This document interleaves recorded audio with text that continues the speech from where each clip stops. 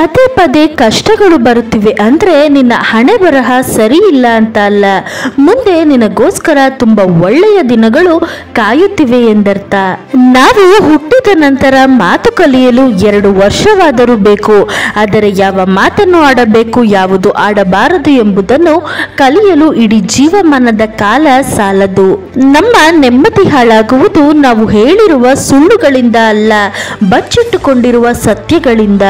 ನಿಮಗೆ ಯಾರಾದರೂ ಕೆಟ್ಟದಾಗಿ ಮಾತನಾಡಿದಾಗ ಎರಡು ರೀತಿ ತಿಳಿದುಕೊಳ್ಳಿ. ಮಾತು ಮುಖ್ಯವೋ ಮನುಷ್ಯ ಮುಖ್ಯನೋ ಮನುಷ್ಯ ಮುಖ್ಯವಾದರೆ ಮಾತು ಮರೆತು ಬಿಡಿ ಮಾತು ಮುಖ್ಯವಾದರೆ ಮನುಷ್ಯನನ್ನು ಮರೆತು ಬಿಡಿ ಅಕ್ಕಿ ಅನ್ನಕ್ಕೆ ಕೇಳಿತು, ನೀನು ನಾನೇ ಆಗಿದ್ದೆ, ಆದರೆ ಅದು ಹೇಗೆ ಅನ್ನವಾದೆ? ಅನ್ನ ಹೇಳಿತು, ನೀರು ಬೆಂಕಿಗಳ ಸಂಪರ್ಕಕ್ಕೆ ಒಳಗಾದರೆ ಅವುಗಳ ಸಂಸ್ಕಾರದಿಂದ ಮೃದುವಾದೆ.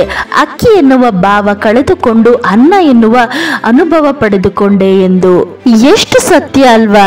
ದೇಹದಲ್ಲಿ ಎಪ್ಪತ್ತು ಪರ್ಸೆಂಟ್ ನೀರು ಇದ್ರೂ ಗಾಯವಾದಾಗ ಬರುವುದು ರಕ್ತ ಮಾತ್ರ. ಆದರೆ ಹೃದಯದಲ್ಲಿ ಎಪ್ಪತ್ತು ಪರ್ಸೆಂಟ್ ರಕ್ತ ಇದ್ರೂ ನೋವಾದಾಗ ಬರುವುದು ಕಣ್ಣೀರು ಮಾತ್ರ. ವ್ಯಕ್ತಿ ಪರಿಸ್ಥಿತಿಯ ಕೈಗೊಂಬೆಯಾದಾಗ ಅವನಾಗಲಿ ಅವನ ನಿಜವಾದ ವ್ಯಕ್ತಿತ್ವವಾಗಲಿ ಮಾತನಾಡುವುದಿಲ್ಲ. ಅವನು ಎದುರಿಸುತ್ತಿರುವ ಪರಿಸ್ಥಿತಿ, ಸಮಯ, ಸಂದರ್ಭ ಮಾತನಾಡುತ್ತವೆ. ನಮ್ಮ ತನ ಬಿಟ್ಟು ಯಾವಾಗ ಬೇರೆಯವರ ಹತ್ತಿರ ಬೆರೆಯಕ್ಕೆ ಹೋಗ್ತೀವೋ ಅವಾಗಲೇ ನಾವು ಅವರ ಪಾಲಿಗೆ ಆಯ್ಕೆಯಾಗಿ ಉಳಿದು ಬಿಡುತ್ತೇವೆ ಕಾರಕ್ಕೂ ಅಹಂಕಾರಕ್ಕೂ ತುಂಬ ವ್ಯತ್ಯಾಸವೇನಿಲ್ಲ.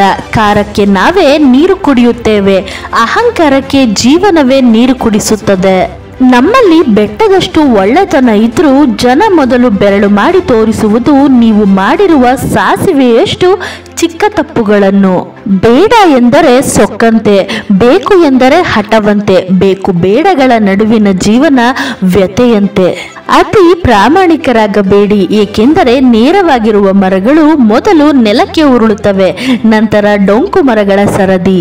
ನಾವು ಎಂತಹ ಸಮಾಜದ ಮಧ್ಯದಲ್ಲಿ ಇದ್ದೇವೆ ಎಂದರೆ ಇಲ್ಲಿ ಸೌಂದರ್ಯವನ್ನು ಬಣ್ಣದಿಂದ ನೋಡುತ್ತಾರೆ, ವಿದ್ಯೆಯನ್ನು ಅಂಕಗಳಿಂದ ನೋಡುತ್ತಾರೆ, ಮತ್ತು ಗೌರವವನ್ನು ಹಣ, ಸಂಪತ್ತು ನೋಡಿ ಕೊಡುತ್ತಾರೆ.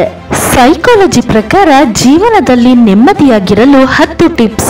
ಮುಖದಲ್ಲೊಂದು ನಗು ಇರಲಿ, ಸಣ್ಣ ಸಣ್ಣ ಖುಷಿಗಳನ್ನು ಆನಂದಿಸಿ. ಇನ್ನೊಬ್ಬರ ಬಗ್ಗೆ ಹೆಚ್ಚು ತಲೆ ಕೆಡಿಸಿಕೊಳ್ಳಬೇಡಿ ನಿಮ್ಮನ್ನು ಕಡೆಗಣಿಸುವವರನ್ನು ಜಸ್ಟ್ ಕಡೆಗಣಿಸಿ.